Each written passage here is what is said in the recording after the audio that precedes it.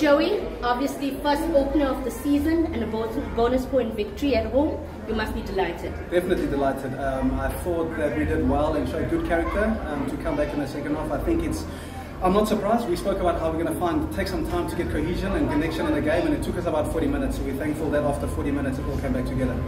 Okay. Frustrated in that first half, but whatever you said at halftime worked during that second half. Yeah, it was some of that. We used some interesting language to get them up, um, but also it's good for them to respond. I thought the decision makers responded really well, um, and then also the guys followed who followed well. So I think to them, they must take credit for their ability to change the game around. It takes character to do that. Okay, what what pleased you about today's performance?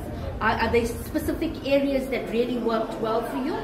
I think you will never complain if your team scores five tries on the day and you concede one try. So it means the attacking defence is coming nicely. So that's just how we gel that in the middle of the field. So I think our kicking game is probably something we work on, and then also our discipline because our lack of discipline is what gives opposition uh, entry into our 22, and that puts us under pressure. Okay, and then Fez and Mbatha with the man of the match performance today. A word on him?